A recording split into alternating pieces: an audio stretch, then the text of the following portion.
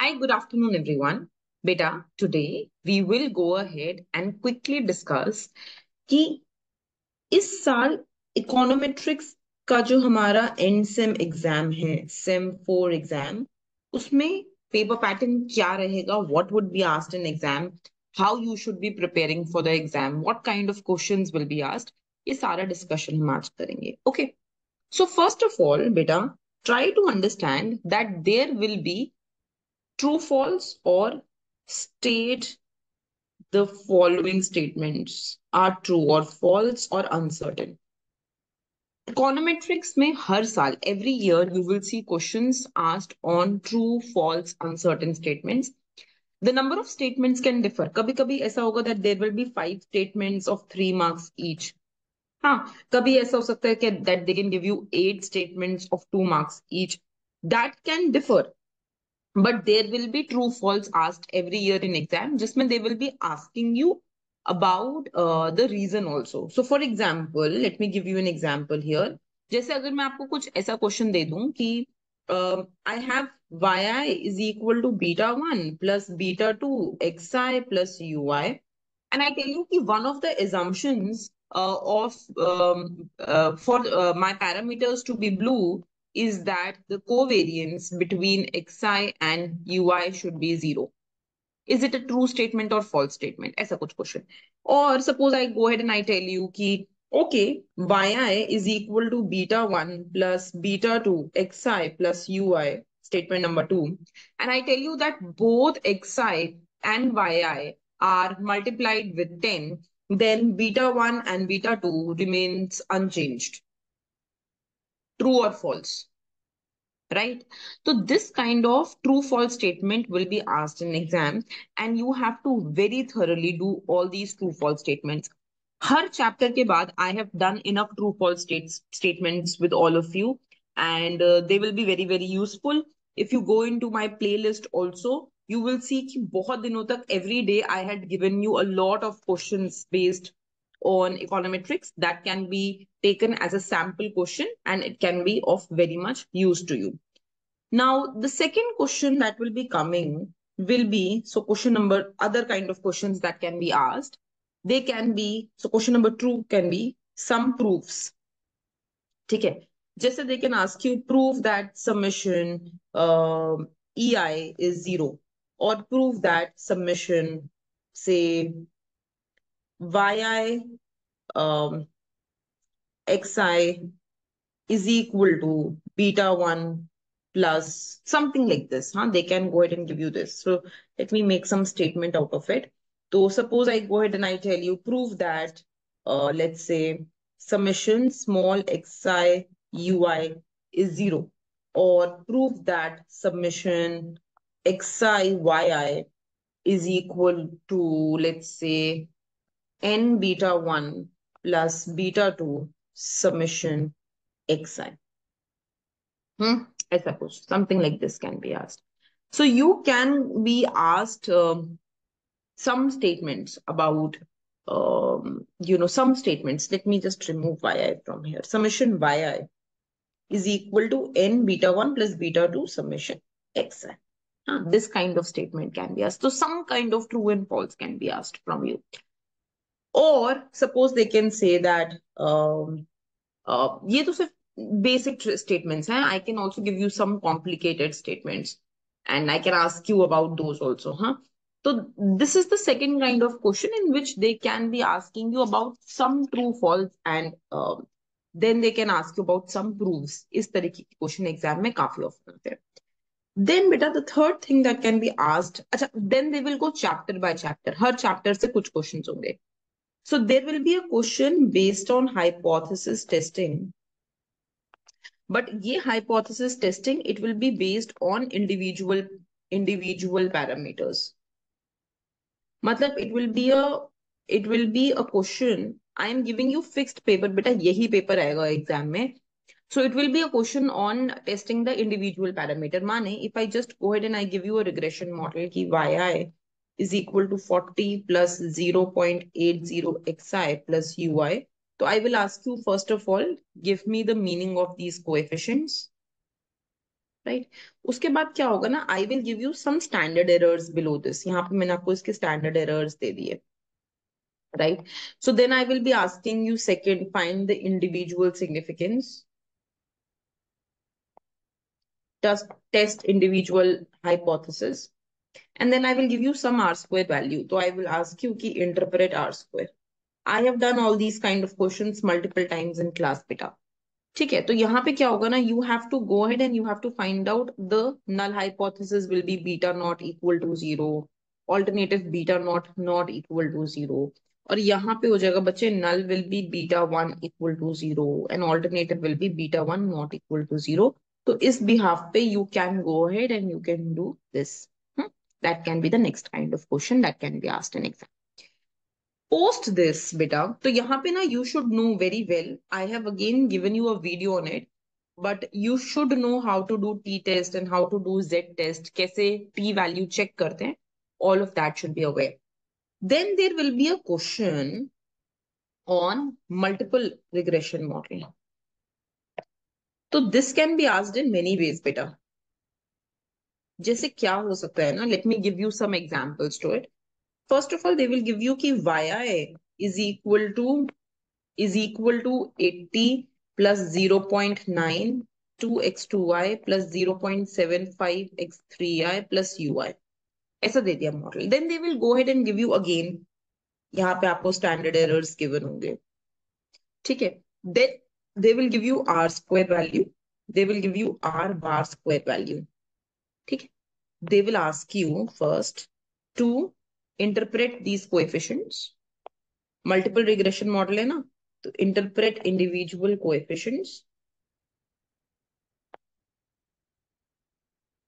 है ना बेटा then they will ask you interpret r square and r bar square कुछ एक आपको कुछ adjusted r square related information can be asked like for example they can ask you कि y r bar square is always less than equal to r square justify because it takes into consideration degrees of freedom.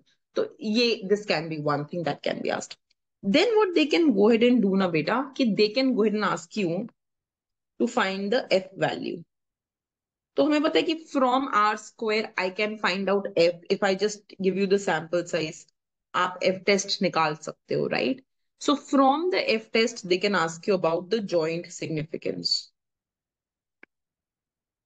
कि are they jointly significant और not ठीक है? Then what they can do ना they can say suppose now consider now consider another regression model in which our model is seventy two plus zero point eight three X two I plus zero point seven seven X three I plus zero point eight four X four I plus U I ऐसा कुछ कर देंगे। जैसे for example जैसे कि they will go ahead and say कि say suppose Y is agriculture का productivity ठीक है? एक्स टू आया था रेनफॉल एक्स थ्री आया था तो अब वो क्या बोलेंगे ना कि now assume that we have added another variable other variables are still the same Y I का मीनिंग यही है X two I means this only X three I means this only but now we have added another variable x4i where x4i goes ahead and X4I stands for, say, um, the machine, number of machines used in on the land. Okay, I have added another variable. To check whether this variable should be added or not. Ki when I move from this model to this model, sure, is this a better model or not? तो एक चीज़ तो हम ये कर सकते हैं that we can test r bar square. And एक हमने ये किया था ना बच्चे we have done restricted versus unrestricted model restricted versus unrestricted model किया है ना? तो on that basis also you can justify whether another variable should be added or not. Whether another variable should be added or not so this kind of question can be asked in exam and you have to be very thorough with this kind of questions ठीक है अच्छा उसके बाद इसी में से the other kind of question which can be usually asked that is basically when they will give you an ANOVA table ठीक है S S R S S E S S sample size, number of parameters, and कुछ कुछ interpretation पूछेंगे कि fill in these blanks ऐसा कुछ। हाँ find out F value check the joint significant this kind of question can also be asked in exam okay उसके बाद there will be a question on functional forms ठीक है, जैसे they will they will say assume that we have run a log log model और we have run a residual model कोई एक model दे देंगे. And then they will ask you to interpret the slope find out the elasticity जैसे हमने किया ना हर मॉडल के साथ हर चीज़ find elasticity find out the slope interpret the slope ठीक है, ये चीज़ दे सकते हैं। एक बहुत one very very important thing very very very important thing in functional form is when they will give you two functional forms in which the Y variable will not be in the same format ये fix type of question है बच्चे always asked तो यहाँ पर ना y variable will be in the log format and here y variable will be in the normal format and they will ask you कि अच्छा इसका r square is this इसका r square is this and then they will ask you compare the r squares so remember that when y variable is in different format is in different forms then r square cannot be compared we cannot justify which model is better ये बात हमें याद ठीक है so log log I mean functional forms पे there will be a fixed question it can be on log log model एक Cobb Douglas form दे सकते हैं कि Y I is equal to X I beta one X two I beta one X three I beta two यहाँ पे beta nought ठीक है, ये then they will say convert this into log log model, interpret beta 1 and beta 2 what do they represent? So we have to remember कि if y is the output and x2y is the input. So betas represent elasticity of output with respect to input. है ना? So this kind of question, they can ask you instantaneous or, or instantaneous growth rate also. Huh? So there will be one fixed question that will be asked to you based on your functional forms. So this is the fixed pattern beta. Believe me, this kind of paper will only be asked in exam. ना कुछ ऊपर होगा ना कुछ नीचे तो इस question के इमीजिएट बाद there will be another question and that question will be on dummy variables fixed ठीक है? In dummy variables they love to give you a dummy variable which involves interaction interaction of dummies ठीक है? तो they will go ahead and give you something like this की Y I is equal to beta one plus beta two D two I d3i plus beta 4 d2i d3i plus beta four D two I D three I plus U ui ऐसा कुछ दे दे plus आ, इसको ANCOVA कर देते हैं तो plus beta five X I plus U I तो ये जो interaction we have done this again कि let D two I be one if male zero if female है ना? Then D three I be one if white zero if non white कर दिया. Then this is the interaction dummy ठीक है? तो this will be one only when these two both of them are one है ना? तो something like this they can ask you on interaction dummy interaction dummy can be interaction between the two dummies and interaction can be between dummy and X variable also हमने वो दोनों cases किए हुए हैं. That can be asked in exam as it is exam में आपका ये question आ जाएगा. सो द इसी में वो दूसरा मॉडल बोल सकते हैं कि Y I is equal to beta one plus beta two X two I plus beta three D I plus beta four D I X two I plus U I and then they can just define the dummy ki di is equal to 1 if female 0 if male और फिर ना उसके बाद they will just ask you कि okay interpret beta three interpret beta four तो अब देखो because there is interaction between dummy and X माने यहाँ से हमें पता चल रहा है कि स्लोप विल ऑल्सो चेंज हाँ और इनका तो है ही तो we know that the intercept term will also change तो समटाइम्स ना they will ask you to plot this also तो यू विल नो कि ऐसा कुछ हो रहा होगा कि फीमेल का ये हो रहा होगा right this will be for female and then male males का कुछ अलग बन रहा होगा the slope will also differ and intercept will also differ because I see that this term is coming with x2y तो ये uh, slope वाला term के साथ भी आ रहा है right so this kind of question will be asked in exam then the next question beta that will be asked in exam fixed type है that will be on multicollinearity multicollinearity में बहुत बहुत fixed question है they will ask you about theoretical और practical implication कोई एक पूछ लेंगे। एंड उसी के बाद they will be asking you about detection of multicollinearity fixed fixed questions है बेटा। मतलब nothing will change they will ask you how to detect multicollinearity ठीक है what are the implication and how to go ahead and resolve the problem of multicollinearity sometimes they will give you some kind of statements in exam ठीक है, जैसे they may go ahead and ask you कि heteroscedasticity पे that you know something like this that um, under the presence of heteroscedasticity, um, parameters are no more blue.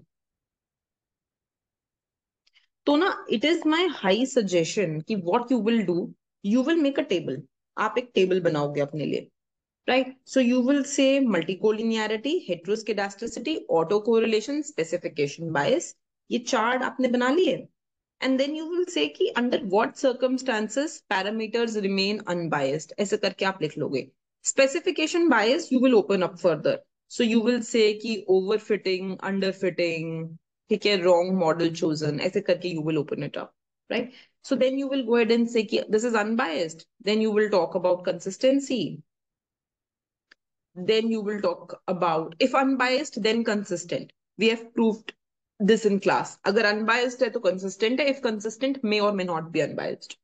So unbiased, consistency, then you will be talking about efficiency. That means minimum variance. Ye sab karke, you will make this table completely, right? And this table will be very useful in exam. Very, very, very useful in exam. All of you have to go ahead and make this table. At last, beta, along with this, I just want to go ahead and tell you that there will be some additional proofs that can be asked in exam.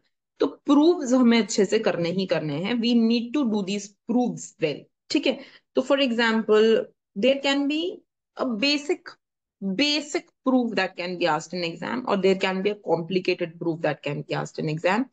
तो ये proofs को आपको अच्छे से करना ज़रूरी है। You need to understand some of the proof well I have made those video lectures where proof are required but that's it for the exam हाँ? So this this is the exact pattern of the exam fixed है, जो जो चीज़ें exam में आती हैं from the last three chapters multicollinearity four actually multicollinearity heteroscedasticity autocorrelation and specification bias there will be fixed question right? They will be asking you about what happens when when they happen kaise parameters change hote hain.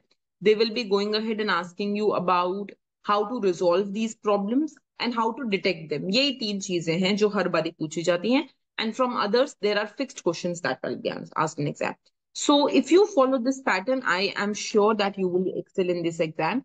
And i will be coming more often now. We will be doing some marathons on uh, discussing the semester exam preparation sessions. So do join in those sessions also and be with me as I go through those sessions. Okay, beta. Thank you.